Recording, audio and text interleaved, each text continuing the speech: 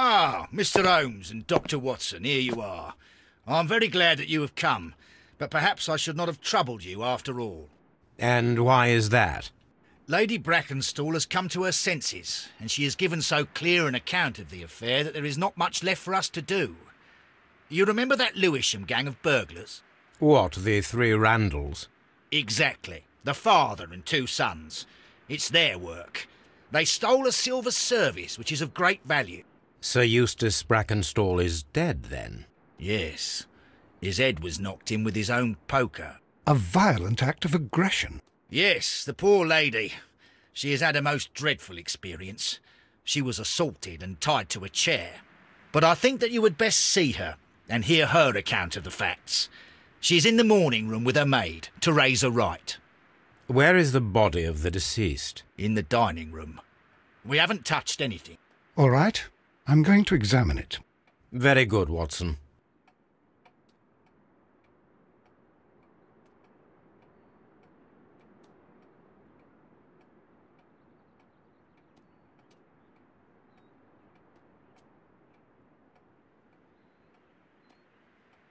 Lord Ramsay Brackenstall.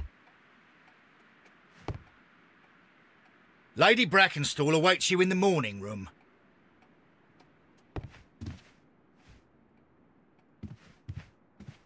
Sir Warthen Brackenstall.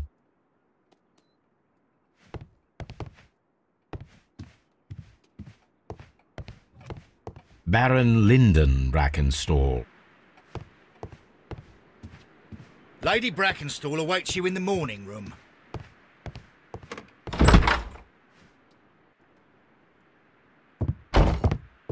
Ladies, allow me to introduce myself. My name is Sherlock Holmes. I'm assisting Inspector Lestrade in this investigation. Mr. Holmes, I am the wife of Sir Eustace Brackenstall. We were married only a year ago.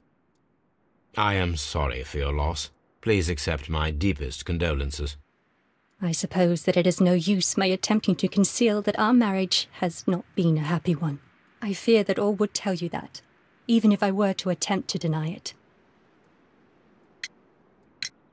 Can you describe to me the events of yesterday evening? Is it really necessary? I have already told Inspector Lestrade all that happened. Yes, madam, it is. I will tell you then. Sir Eustace retired about half past ten. I sat in this room until after eleven, absorbed in a book.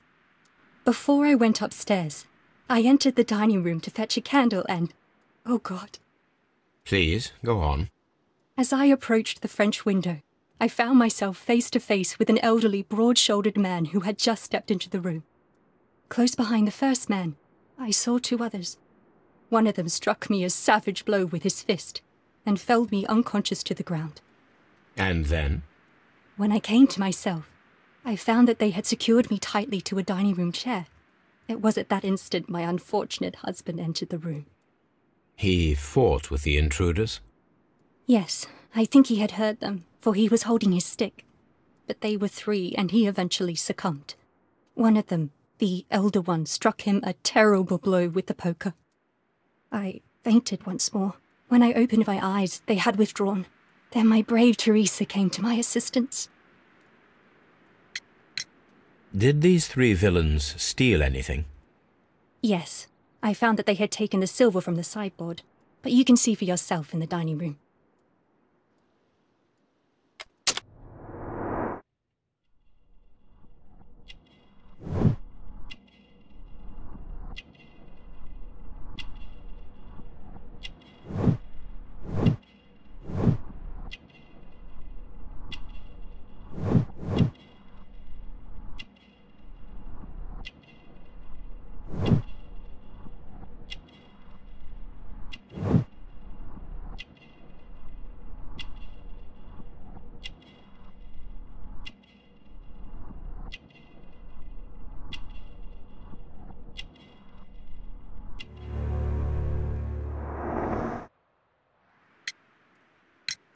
You mentioned that your marriage was not a happy one.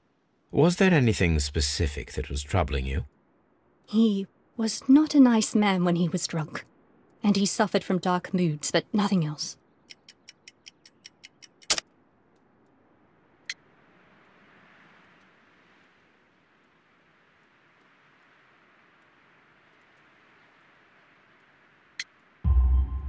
The bruises on your hands are at least one week old. Your husband caused those bruises? Oh, do you. Yes, he did. He was very angry at the time. Out of control. Again. Sir Eustace was a drunkard. To be tied to such a man for life is worse than death. Your ladyship?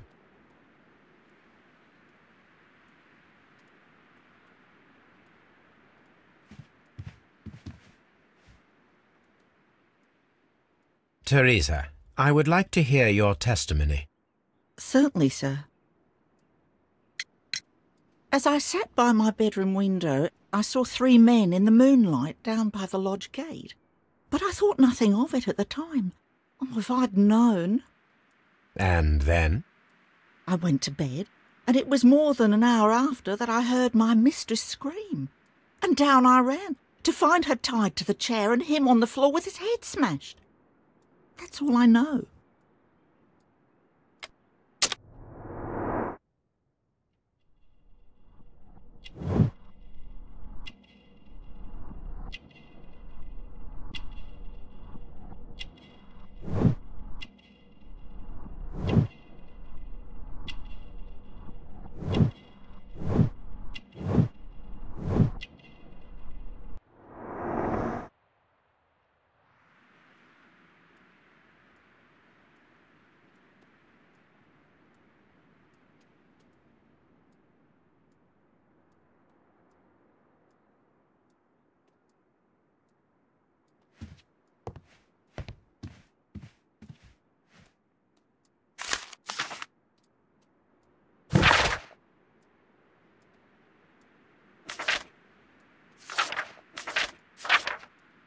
The description of the Randall gang provided by Lady Brackenstall is identical to the one in the Times article.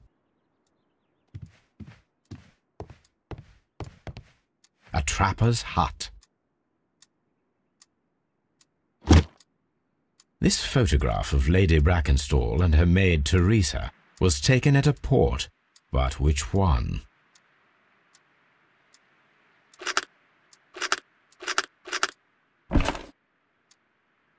So the lady and her maid came from Australia a year and a half ago on this ship.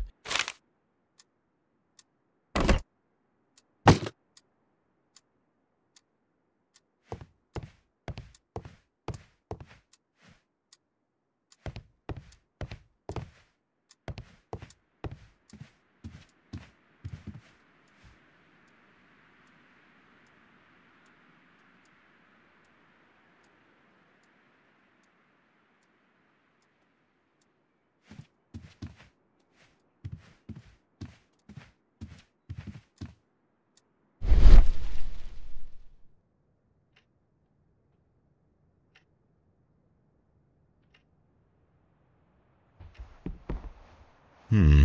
These scratches are most definitely made by the picture frame.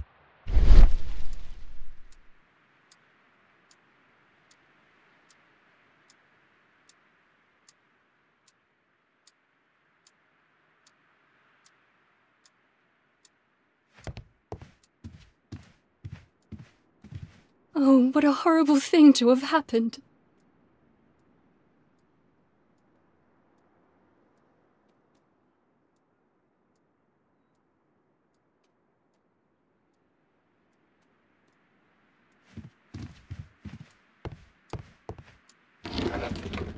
This is Sir Eustace's safe. There may be something important inside. I must ask Lady Brackenstall to open it.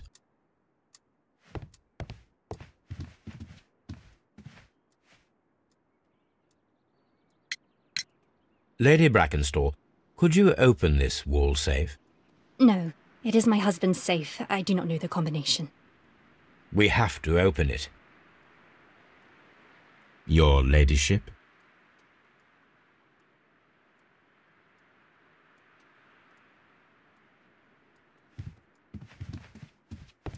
Let us try to open this safe. This safe can be cracked. I only have to pay attention. The dial will vibrate when it is set to the correct number.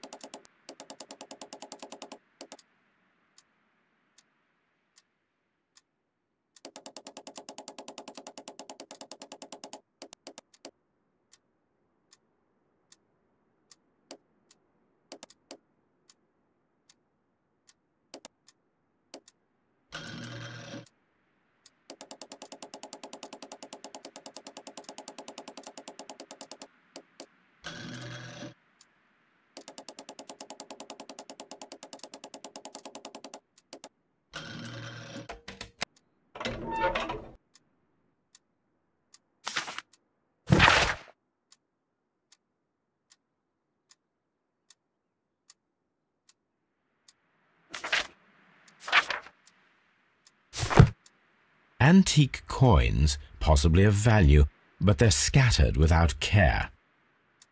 It is common practice to keep one's valuables in a safe behind a painting. It should not really pose a challenge for a criminal.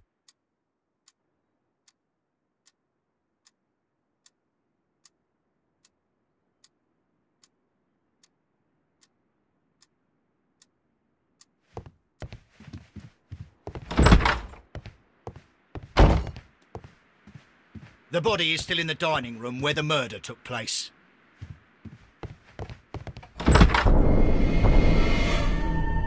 You should examine the body of Sir Eustace Brackenstall.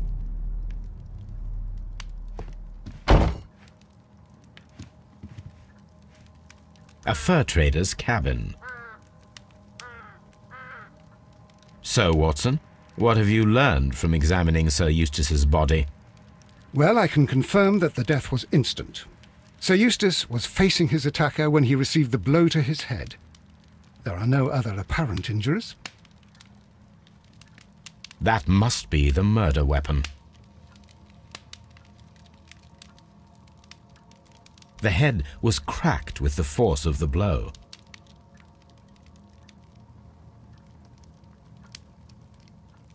Barefoot, he had therefore been in bed and did not have time to fully dress. Quite a large stick, a formidable weapon.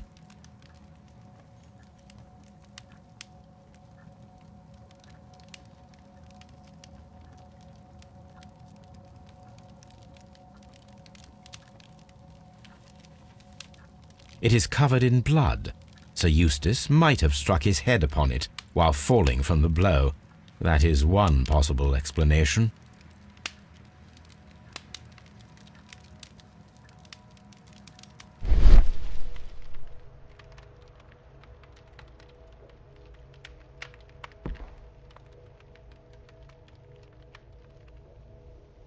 It appears that the bell rope was cut by someone taller than me.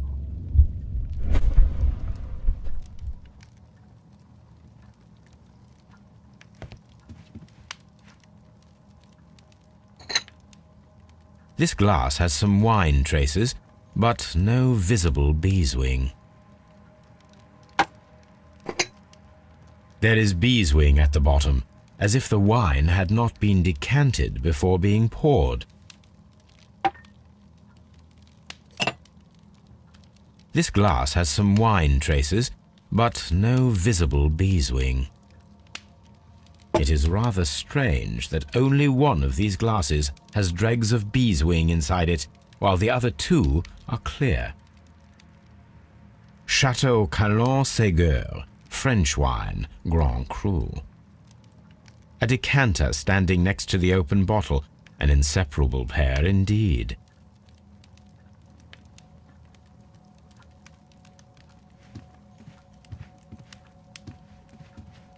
A deer hunt this door leads to the upstairs bedrooms. Apparently the criminals did not venture there. A hunting scene.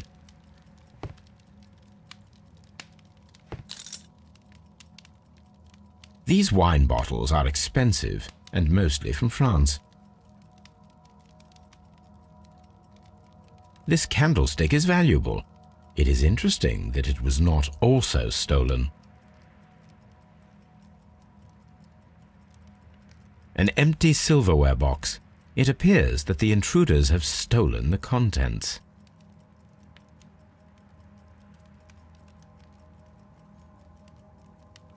A bottle of wine is missing here.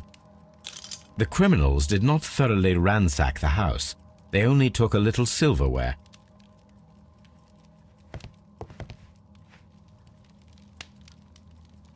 Sailor's knots. That's interesting. This rope was handled by the murderers. We need a scent hound to follow their trail. I will take it with me. This is the chair that Lady Brackenstall was tied to.